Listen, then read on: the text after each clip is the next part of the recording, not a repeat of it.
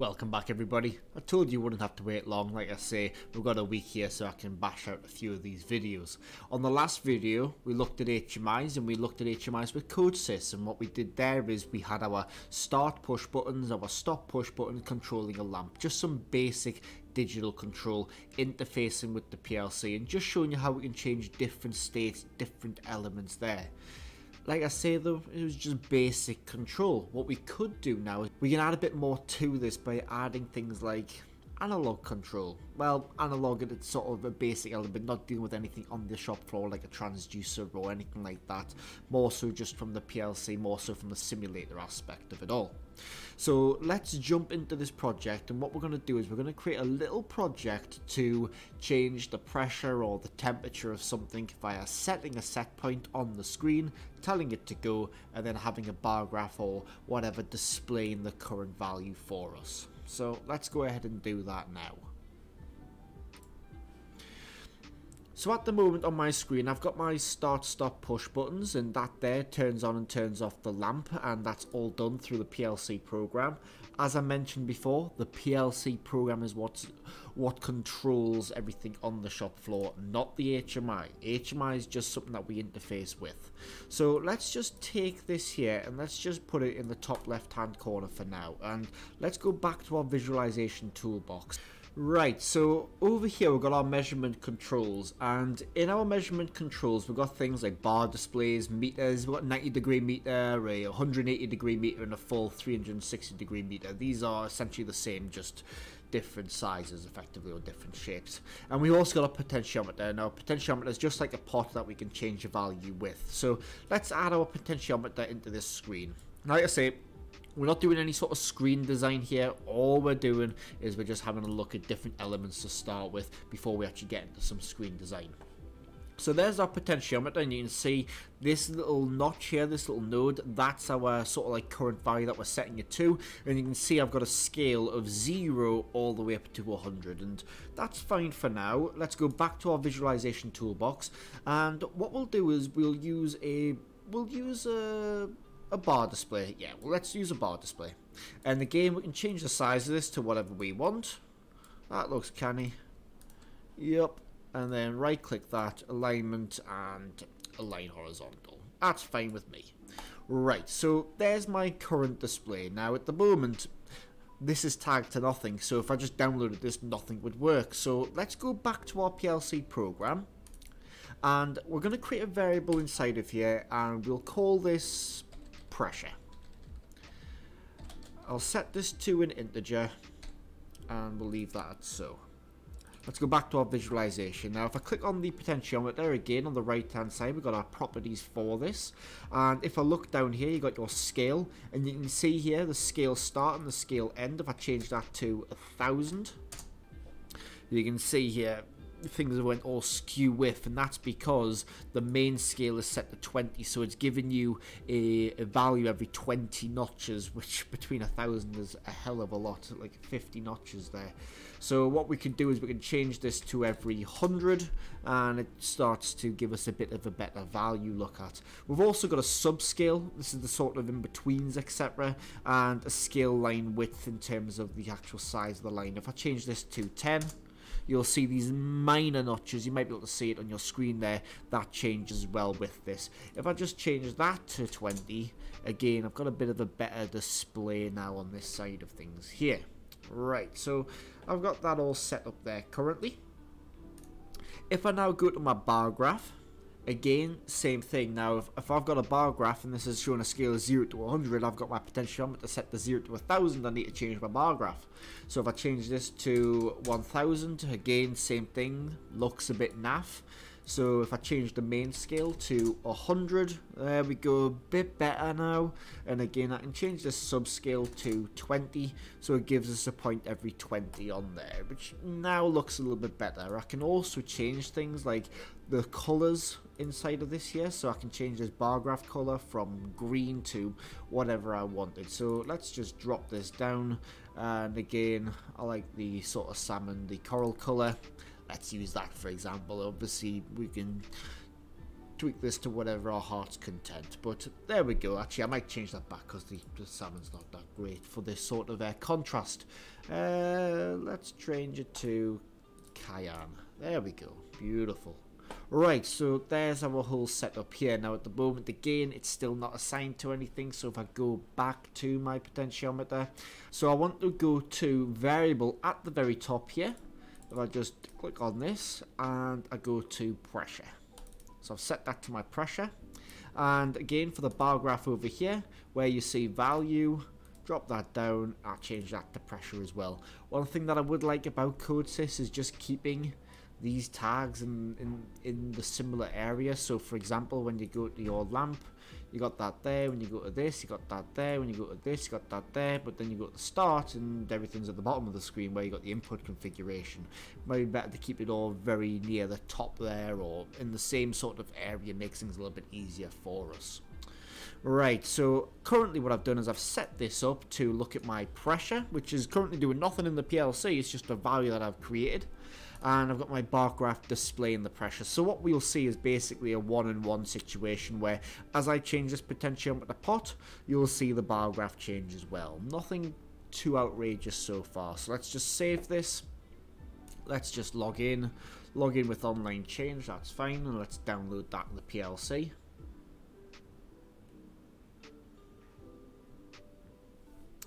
And there we go, don't need to start that up, that's great. So if I come into here, just minimize these areas here, and as I change this potentiometer part, you can see there my bar graph is changing as well. Like I say, this is essentially just a one for one. You've got your pressure, you got your pressure. So you've got something that's displaying the pressure, something that's allowing you to control that pressure. Now, as you'll know on the shop floor, things don't work just like that. We don't just have our potentiometer up there's our pressure at the same rate as well. What you would tend to have is you'd have your potentiometer being like a set point, and then you would have the the pumps or whatever we're using to to create this pressure, to increase this pressure, that would then control on the bar graph. So you would usually have your set point going, and then you would see this starting to move, starting to tweak on the bar graph itself. Sometimes what you might do is you might say, right, I want to set my set point there and then you might want to press a button to start this whole operation and then you would see your pressure change state Again, you don't want your HMI doing all of this control, just controlling the pump from here, because imagine that. Imagine your operator just goes, whoop, and there we go, off to a thousand. There's nothing in the PLC going, hang on, wait there, you can't be doing that. So again, this is just mainly for operator interface. This is just for feedback. The PLC's for all the controls. So let's go ahead and do that. Let's disconnect. Let's log out and let's go back to the PLC program. And I want to create a pressure set point. And that's going to be our integer as well. So we've got our pressure set point and we've got our pressure. So if I now go to visualization go to here on the potentiometer and click on the variable where you see pressure and this is going to be the set point it's not going to be the actual pressure, it's going to be the set point, and this is displaying the actual pressure. So now, let's go back to the PLC program. What I want to have happen is effectively, operator sets the pressure via this potentiometer. Now, it's going to be not so precise because we're dealing in these hundreds and this is going to be going down the individual degree there. And then I want the operator to press the start. When he presses the start, it's then going to increase the pressure. Now, we're not controlling anything here. We're not going to control it at a certain flow rate or increase rate. What we'll do is we'll just have this based off of time. So when the operator presses the start, it's going to control this lamp. Now again, I don't really want a lamp to control the process. What I might want to do though is I might say, right, you control the run signal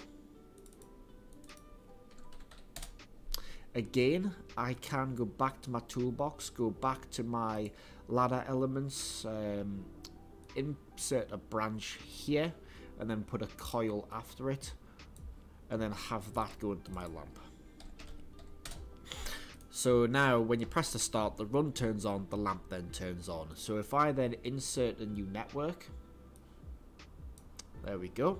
Now what I want to do is when we are running, so let's put in a normally open contact. So when we are running,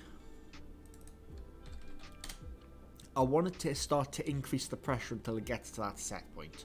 So I want to increase the pressure, let's just say every one tenth of a second for now. So how many tenths of a second are in a second? One second, uh, 10, sorry. How many tenths of a second are in a second? 10 so that means it'll increase 10 points every second. If I then want to get to a thousand that would then take me 100 seconds to do so just over a minute. I'm not going to make us go all the way up to a thousand though. We could of course decrease or increase that time period to change that change in rate. Let's go to our TON our timer. Drop that into place. And let's call that um, uh, rate. So this is our increase rate. And then say OK to that. And again, let's just change this to t hash 100 milliseconds. Get rid of that. And I want to put a normally closed contact in here. And I effectively want my ink rate. Whoops. My ink rate dot q. So when this is on, this timer is going to run for 100 milliseconds, turn on, open that contact, turning off the timer, closing the contact, starting it again. So it's going to create a pulse for one PLC scan every 100 milliseconds. And this is what I'm going to use to increase my temperature or increase my pressure or whatever I'm controlling from there. So let's drop this down. So let's create a branch. Whoops.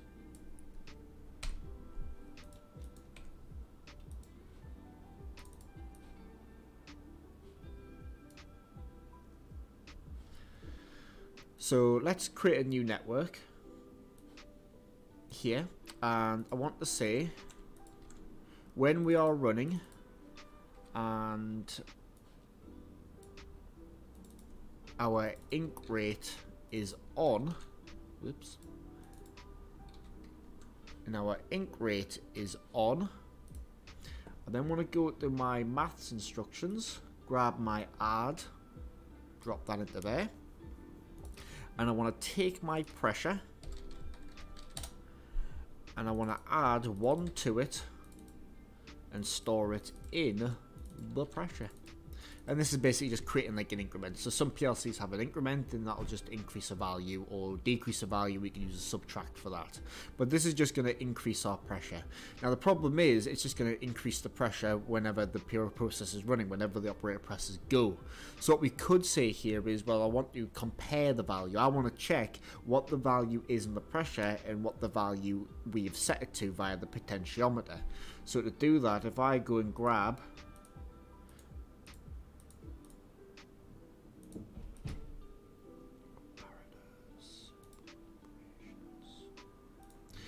So to do that, if I go and grab my comparators, so inside of our math operators, you've got your comparators. So let's come down to here and insert a new network.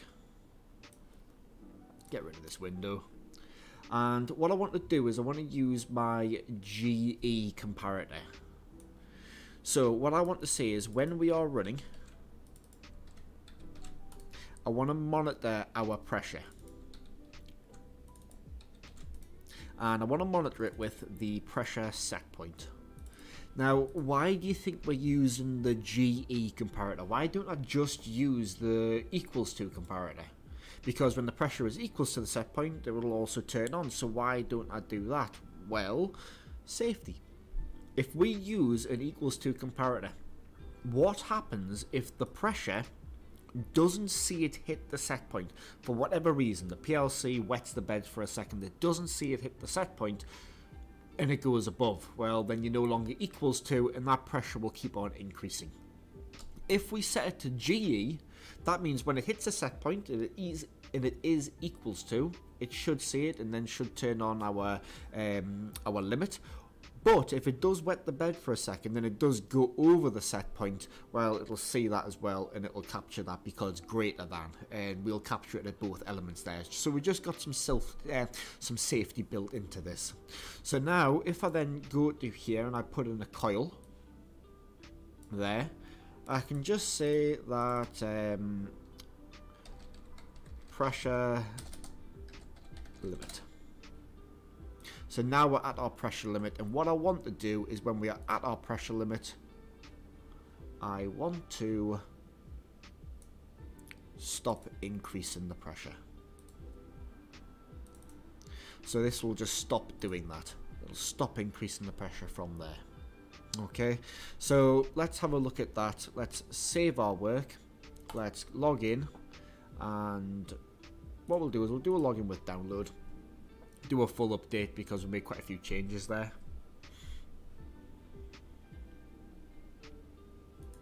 And let's uh, see if this works unless I've forgotten something, of course. That could always happen. So what we'll do is we'll go to the visualization. We should see our program all kick in. There it is there. We'll go to our PLC program and drop that out. And let's just open this up a bit. So at the moment our pressure is at zero. Our pressure set point is at zero. We're not running so the pressure limit hasn't been hit. If I was to increase this value now, you can see there the pressure set point is changing. Now again, on this screen, we don't have much visualization, so we're not seeing much information from here, and that's purely because we're just using these little hash marks to find out where we are, but here we actually see the true values, 157. If I just bump that up to around about 200, so we're at 204 there and we're ready to go. So what I would do is I would then press the start push button which will control our run and begin running this time and this time is just going to just going to um, run and pulse every 100 milliseconds, increasing our pressure. And then when it hits 204, the pressure limit will turn on and break that, stop the increment. And what you'll do is you'll see our bar graph start to increase up to the 200 limit. If I press start there, there we go. And there you can see our pressure is now increasing. There's our bar graph increasing. And when it hits that 204, it should then stop. Again, if I stop the process, it's just going to stop. The pressure's still there. It's still at our set point. And then press the start. And it'll continue from where it last left off. And then when it hits 204, it should then stop. There we go. So this timer's still running, it's still pulsing, but because we've hit this limit, it's no longer going to increase anymore. So we're now at that limit from there. Now what you could do is you could have that light turn on when you hit the limit. All we would do in the PLC program is go into here, move that lamp down here. So when the pressure limit is hit, we know that. So we know the operator's got some more feedback on that side there. But that's there is just showing you a little bit of information about how we could use these different sorts of applications, not just digital signals, but something that's got a value associated to it, like an analog signal, so to speak. So we've got this value here, we can change the state, and then we can have that change from here as well. If I just increase the temperature, increase the pressure a little bit more, this is going to start running again. Now obviously, there's bugs in this design right now, and the bugs are the fact that if we lowered this, it would stop, but we're still at a high pressure, so you might want to decrease the pressure.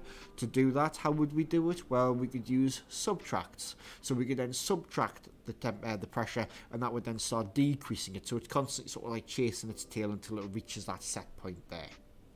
But that there is just an introduction on these other variables that we've got here, sort of like measurement tools inside the PLC. Again, I don't want the operator using this to just activate everything. I want the PLC program still doing all of that side of things. This is more so for the operator just to set a set point and off we go. We can start running from there and using some sort of visualization as feedback. Again, you've got other feedback properties in here. If I just come offline, We've got other feedback properties in here. If we go to our visualizations, we could use meters instead. We could drag a meter in and this meter would change state just like this bar graph would. But that there are the measurement controls that we've got over here. We've also got things like histograms. And a histogram is very similar to things like trends. So it will show you like previous history effectively. Alright, there, there is measurement controls inside of CodeSys, inside of our HMI application. I'll see you on the next video guys. Once again, don't forget to like, comment and subscribe and also share it as well. Helps us out a lot. See you later.